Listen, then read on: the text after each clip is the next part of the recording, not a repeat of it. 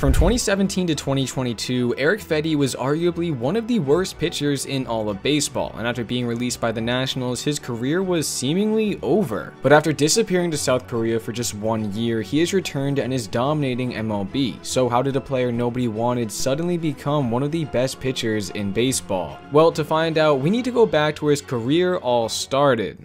Fedde was born in Las Vegas, Nevada, and growing up, he was a star multi-sport athlete, but ultimately decided on baseball after he developed from a 100-pound, 5'5 kid throwing in the mid-70s his freshman year, all the way to a 6'3 beast, reaching into the 90s as a senior. He even received some great praise from his teammate Bryce Harper, you know the two-time MVP and future first ballot Hall of Famer. Well, in high school, he had this to say about Fedde. He's a stud. He's somebody that doesn't care which situation he's in, who he's facing, who's at the plate. His heart beats the same way the whole time. And Harper wasn't the only one applauding Fedde, as his coach also mentioned he threw the best slider he had seen in his 27 years of coaching. This makes it no surprise he was heavily recruited out of high school, being taken in the 11th round of the 2011 draft by the San Diego Padres. But instead, he took his talents to the University of Nevada, Las Vegas, a D1 program that has produced current MLB players in Bryson Stott, Dean Kremer, and Kyle Isbel. And during his three seasons for the university, which included a stint with the United States Collegiate National Team and a summer in the Cape Cod Baseball League, he excelled, becoming one of the best collegiate pitchers in America. For example, during his junior season, he managed to strike out 11 batters, allowing just one hit in his first game, and by the end of his 11th outing, he was sitting at 8 and 2 with a 176 ERA and 9.6 strikeouts per 9 making him a consensus top prospect ahead of the 2014 draft, with teams like the Toronto Blue Jays, who owned the 9th and 11th picks, keen on acquiring his services. However, on May 10, 2014, the University of Las Vegas announced he was undergoing Tommy John surgery, shutting him down for the rest of the year. This was a major setback for Fedde, but despite this, the Washington Nationals felt comfortable enough to take him with the 19th overall pick, stating, He is a plus stuff guy. He's a big physical guy. We had him toward the top of our draft board, and we felt that the risk of him rehabbing and coming back to pre-injury form was worth the draft pick. This was also very in line by the Nationals front office as they had taken Anthony Rendon who had shoulder and ankle problems before being drafted in 2011 and Lucas Giolito who tore a ligament in his elbow before he was taken the following year. And the both of them went on to become big names. They were hoping Fedde could also follow suit. Once he began his minor league career, he was able to revive the talk surrounding his name going from low A and single A during his first season to high A and double A the following year. Then in his third season after starting off at double A, he found himself at triple A in June, and after just 10 games, he was promoted to the major league roster as Nat starter Stephen Strasburg went on the injured list. Meaning this wasn't a permanent move, but he had the opportunity to get a feel for the next level, making two starts before being sent back down, with his MLB debut coming on July 30th at home against the Colorado Rockies. Now, at this time, the Rockies weren't the same bottom five team in baseball as they are today. Instead, they were a powerhouse offense with guys like Charlie Blackmon, Nolan Arenado, Mark Reynolds, and many more all having big seasons. And in the end, these guys got the better of Fedde as he allowed 7 earned runs off 12 base runners in only 4 innings of work, but he had this to say following the game. You know, I felt like my stuff was pretty good, and uh, you know, a lot of balls, you know, landed in good spots for them, but you know, it's one where I still need to make better pitches and get better results. Nonetheless, he was pleased to make his big league debut, a dream of his since he was a kid, but he understood that his first start was not good enough, and he looked to improve on his next outing against the Chicago Cubs. Which, credit to him, he did, until everything started to unravel in the sixth inning as he allowed a leadoff homer to Willson Contreras and then Kyle Schwarber the following batter, giving him a tough final line, but it was an improvement upon his first start. And after he was sent back down due to Gio Gonzalez returning from paternity leave, he was up just a few weeks later, seemingly for the remainder of the season. However, after his outing against the Mets, in which he went 6 innings allowing 5 earned runs, something seemed off. His fastball, which is typically sitting in the mid 90s, was only reaching the high 80s, and because of this, he was shut down out of an abundance of caution with a flexor strain in his forearm as a way to give him a leg up on getting ready the following spring. And while season-ending injuries are always a tough way to end the year, it was still a productive one for Fedde as he started the campaign at AA, made his MLB debut in August, and was named the Nationals Pipeline Pitcher of the Year. He was also able to use the longer offseason to prepare for 2018, where he showed out in spring training tossing a 245 ERA in 14 and 2 thirds innings pitched. But despite this, he started the season at AAA, later getting promoted to the big league roster in late May. And this started a trend for Fedde as he was recalled and optioned by the Nationals a total of six times in 2018. And in the end, he managed 11 starts at the major league level, but he couldn't find much success tossing a 5.54 ERA in his 50 and a third innings pitched. Yeah, safe to say it was not the way most anticipated the top prospect season to go. He even mentioned during the offseason that he needed to get to work. Kind of changed up a little bit of training this year and uh, yeah, already up 15 pounds, so yeah good start. I think it's maybe my last year of options. It's a you know big one just to kind of prove that you know I belong. I mean I'm just going to fight for everything I can, and you know the goal is to you know go out there and prove that I should be an everyday guy.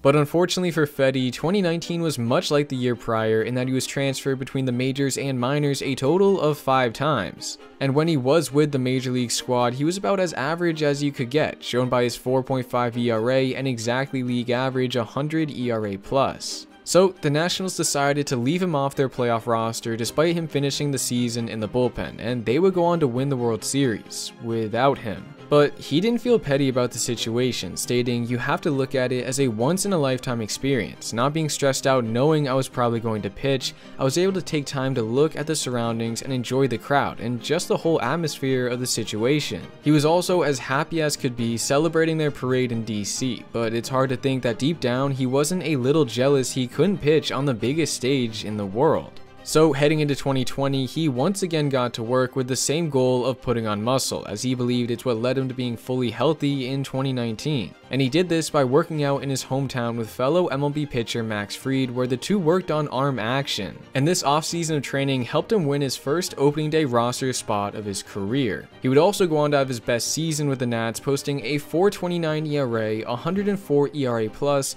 and the longest start of his career in his final outing against the Phillies going 7 strong scoreless frames. Momentum he looked to continue to build upon in 2021, but instead of the upward trajectory he found himself on the previous few years, it all came crashing down. Despite logging the most starts of his career at 27 and most innings at 133 and a third, his ERA ranked as the 11th worst in baseball among pitchers with 100 innings and third worst in terms of WAR at negative 1.1. Flash forward to 2022, his ERA jumped closer to 6, the second worst in baseball, only besting fellow teammate Patrick Corbin. And with his contract only getting more expensive through arbitration, the Nationals decided not to tender him a deal for the 2023 season. And at this point, point, it felt like his career was done because over the previous 8 years, he was riddled with injuries, going on the 60 day injured list twice due to his forearm and shoulder, as well as many smaller ailments that also made him miss time. And in total, he logged 454 and a third innings pitched for a cumulative ERA of 5.41. For reference, from the point of his debut till 2022,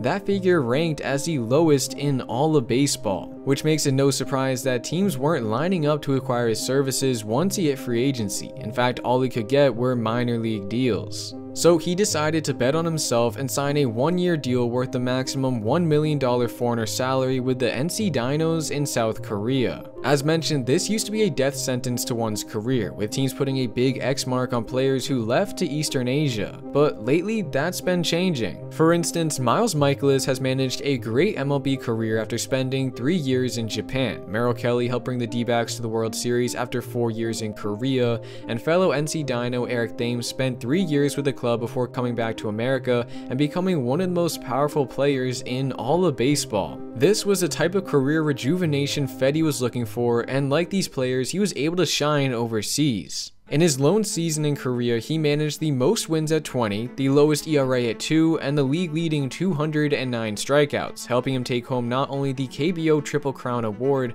but also the KBO MVP, the club's first since Eric Thames won it back in 2015. And I understand this was Korea, a league scouts like to put on par with the AA, but that doesn't matter. What does are the changes Fedde made to his arsenal, something he hadn't been able to develop in MLB, stating, Sometimes it's hard to work on things in the big league You're trying to get outs, and that's what really matters. But I went over there and could throw my changeup 25 times and figure it out, and throw my sweeper 25 times and figure it out. And you know it's tough when you maybe get through the minors and you haven't done that enough. He would continue to mention, I feel like most of us that are in the big leagues have had times where we feel like we're the best pitcher on the field. Getting back to that can sometimes be tough when you've been beat up. But I think I gained a ton of confidence and like I said, when you feel like you have the tools to get people out, it leads you to that sense of confidence again. And because of these changes he made overseas, he once again grabbed MLB teams' attention, ultimately signing with the Chicago White Sox on a two-year $15 million deal, giving us our first look at him in the States since 2022, and it's clear his game has changed massively. In 2022, he used primarily a sinker at 40% of the time, followed by a curveball and cutter he used around 30% each, and finally a changeup at 3%. But in Korea, he got rid of his curveball entirely, and instead focused on a sinker and cutter mix 60% of the time, and then an off-speed pitch in the changeup and breaking ball in the sweeper at 20% each. Let's focus on those two pitches for now, because for the majority of his career, he didn't have an elite off-speed or breaking pitch he could rely on to get batters out. In 2022, his most used breaking pitch was the curve, and opponents hit 321 with a 504 slug against it, which ranked as the second worst curve in all of baseball, and because batters weren't getting fooled off his breaking ball, they were able to gear up for his fastball. But now with his brand new sweeper he's using 20% of the time, he's allowed opponents to just a 184 average and 382 slug against it, a massive improvement. And moving over to his off-speed pitch, his changeup. At the moment, he's throwing it 20% of the time compared to just 3 in 2022. It is also far more dominant than it ever was before. And it all stems from a change in grip, allowing the pitch to be on average 2 miles per hour faster with 1.4 inches less of vertical movement